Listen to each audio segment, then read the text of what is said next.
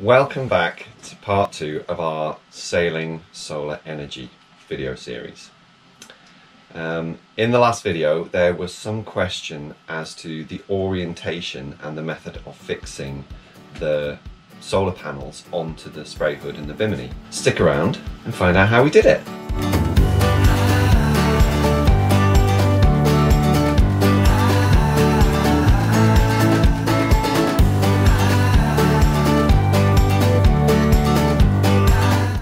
So there was some question about whether we should put the panels going that way or going this way because of the shadow from the boom. But the overwhelming response from the previous episode was that under no circumstances should the solar panels be resting on the bimini bars because it would reduce the lifespan of the solar panel.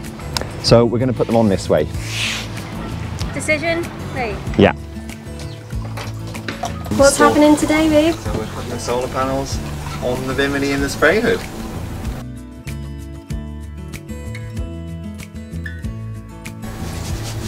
Just going to hook up the wires, make sure everything clips together and has enough reach. They fit pretty well, don't they? One. More of a positioning exercise today than anything else.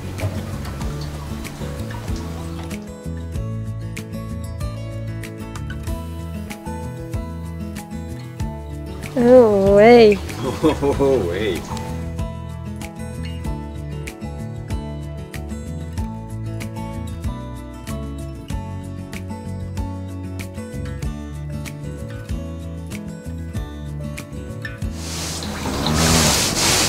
Shiny.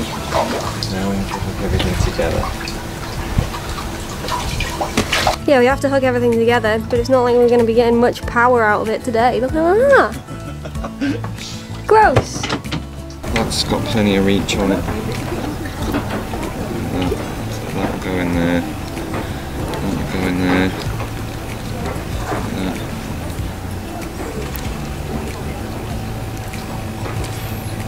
Ooh-wee. Well, good to know that that works.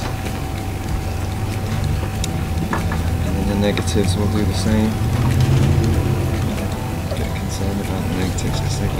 Reach because there's no diodes on the negatives, so eek. Might be a problem. Let's try the negatives. I've done this the right way around.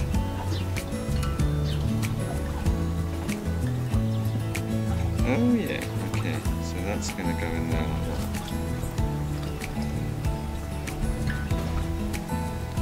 That goes on there.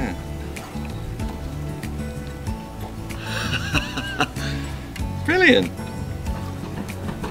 Well, that all fits together nicely. Good job. What's occurring? So, we've established that we can successfully connect all the panels together. They, they, they're going to be a bit close and tight here on the, on the spray hood and the bimini. But there's enough length in the cables here to, to join them all up here. Um, and then there's an opening underneath this fiberglass arch underneath for the light to go in. And so on the top of the arch, above the opening where the light goes in, we're going to drill a hole big enough to get both of the cables through and then attach a seal to that, um, which we glue on. And then we're going to shove the wires through. They will attach to these. The wires will go through this hole, down through the arch and out of the opening where the light is housed.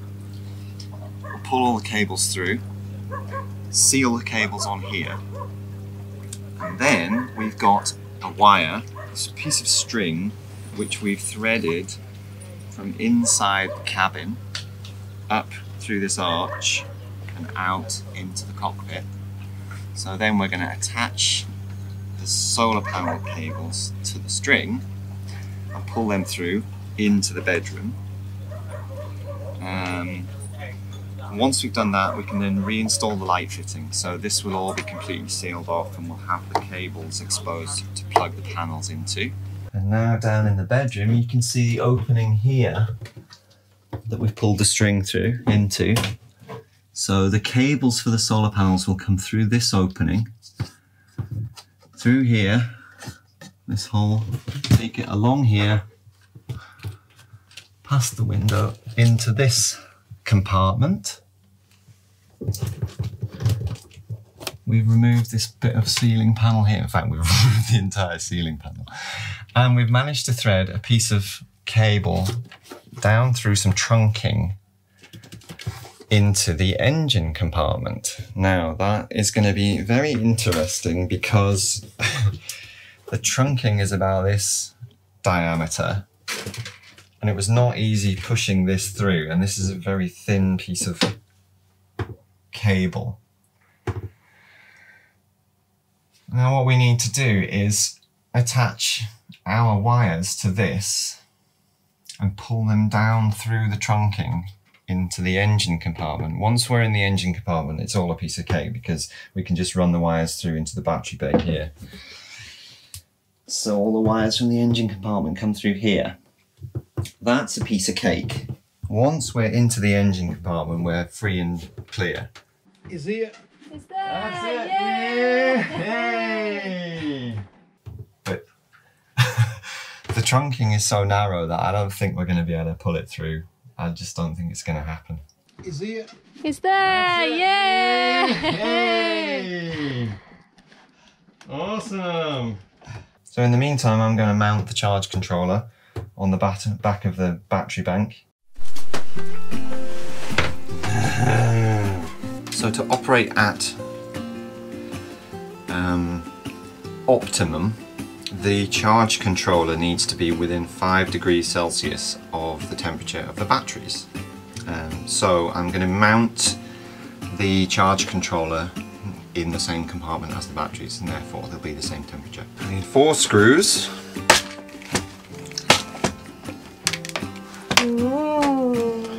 I think these are going to be just fine. They might even be a bit small to be honest. Ooh wee! Job done. Just quickly recap what you've got there. Right, this is the MPPT Smart Controller. Now that essentially takes the charge from the solar panels and puts it into the batteries in an in the most efficient way that it can. I'm going to go and attach this.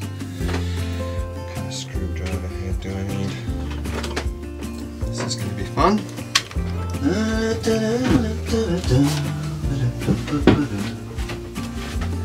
Make toes don't touch anything. What's your noggin? Oh, this is not fun. I'm putting it in upside down because access to the wires will be from the top then, so that'll make life a lot easier. And just pop that on there like that. I might pop it on there like that actually. Looks easier. Right next to the batteries. Let's have a butcher's in here. You have to open it now. Our battery. Well, that's 120 amp hours. We got five of them.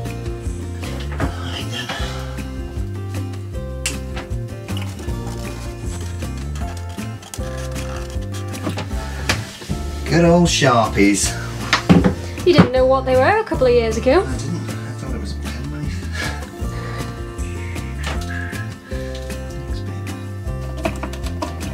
Huh.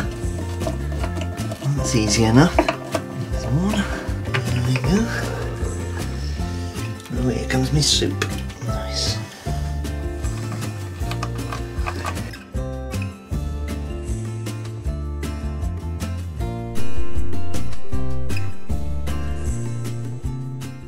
It all looks good, doesn't it? Doesn't it? So now it's back to us as well, isn't it? Yeah. But what I do want to check is our smart solar panel. We can connect to it. So I've installed the app and it's come up, it's there. So let's connect to it.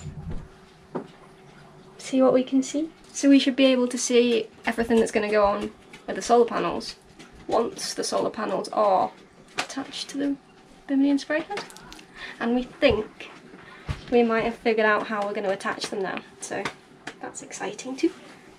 We just need to pop into town and get some bits and bobs, don't we? It's been a long time coming. It's been a long time coming. How long have we had these panels just sat there? Bloody weeks. Imagine no more engine running. Oh my goodness. Change pin code. Pin code changed. Ralph, Ralph is growing. is he? Hmm? He's growing very slowly. So's our financial situation. right, it's all updated. We're actually getting some readings already. I don't know how that works. I mean, it's saying solar, zero watts, but that's because the solar The panels are behind you. are here. so it's telling you what's in the batteries. yeah, it's a battery monitor as well. Yeah, the voltage is 13.85 volts. History.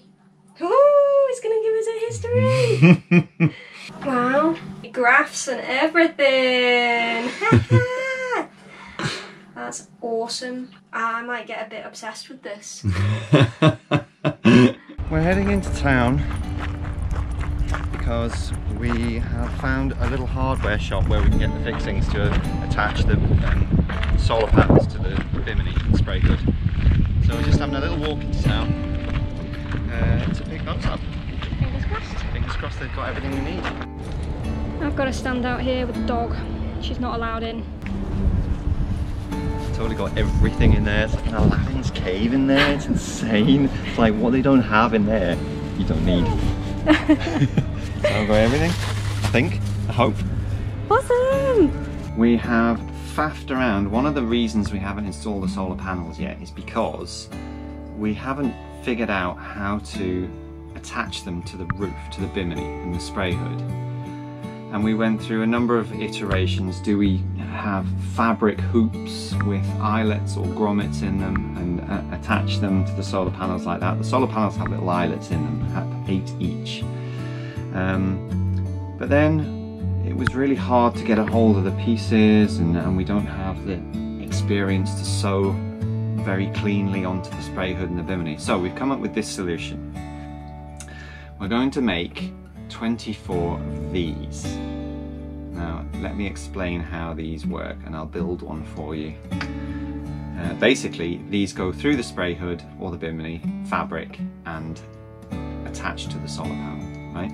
So here's how we're going to make them. We've got a whole bunch of stuff here. And it's all common stuff that you can find in any hardware store. We found them in this really wacky shop. It's brilliant. So these things are the things that you stick under the legs on chairs to stop them scraping along tile floors. Um, but what they're going to do is we're going to stick these one to their, and they're adhesive, so we're going to stick one to each side of the fabric where we want the, the hole to go through, where we want the binding to be.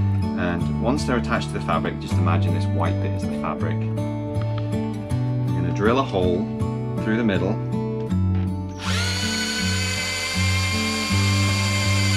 like that. Onto our nice table. Brilliant. our table. Quite all the way through.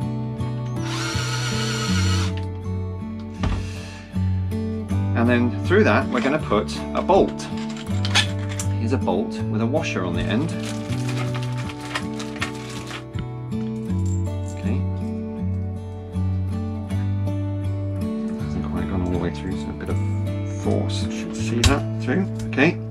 These two cushiony bits on each side of the fabric and a washer with the bolt going through. The fabric is the white bit in the middle. Okay. Then we're putting another washer on the top and we're basically going to squish the fabric in place. We've got a nut here. So a washer, then a nut goes on. And then we tighten that on. So basically the washers and the black fabricy things are going to be squishing the fabric so they're going to really grip it. And the the adhesive on the inside of these rubber things will stop the fabric from running essentially. Okay? Then we need to create an air gap between the solar panel and the Bimini. So we've got these things, which are basically just little rubber feet. Essentially a more advanced version of these things. You can screw these onto the bottom of your chair legs and then you've got little rubber feet for the chair legs, okay? We're going to use it like this. We're just going to simply push this through the bolt and over the nut. And then the solar panel is going to sit on top of that. That goes through the grommet in the solar panel. And then to hold the solar panel on, we've got little rubber washers so that there's no chafing. I've got a rubber washer. So solar panel on, rubber washer on, final washer, metal washer to hold it in place and finish it off with a nut. Tighten the final nut on and your solar panel is held nice and secure. Ta-da!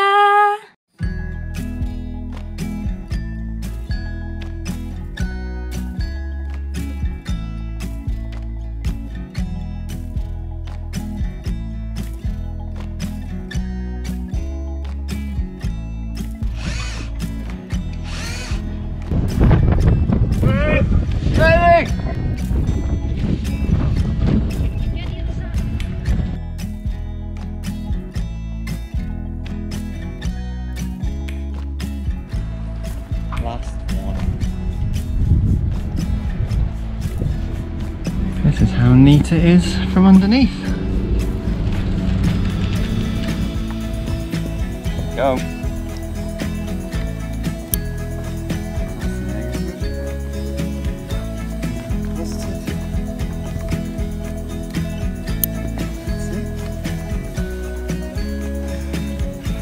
Let's check the app. We unplugged yesterday from shore power about 2 o'clock in the afternoon and since we have been running on pure solar energy. the sun went down at about past 5, 6 o'clock. Since then we've been obviously getting no solar energy. and we ran the telly, we had the lights on, the fridge, the freezer, charging laptops, The inverter. yeah. And the battery alarm did go off at about quarter to six this morning because someone left the light on all night. So yeah, we're pretty happy, I'd say. Pretty happy with that, yeah. What did we do about the battery alarm going off? Just turned off. Just boop off.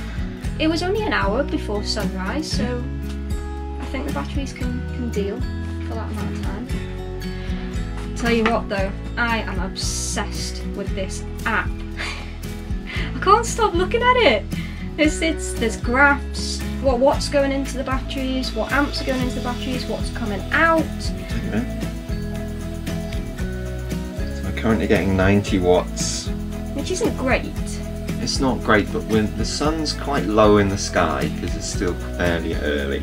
But you know, it's supposed to be a sunny day today. When the sun gets a bit higher in the sky and the clouds bugger off, we'll uh, see what happens. Tell you what, when I woke up this morning it was showing 150, so Wow, getting up there. mm. Mm. Thanks for watching guys. If you enjoyed this video, give us a like and subscribe. Help us make more videos like this by joining our Patreon family.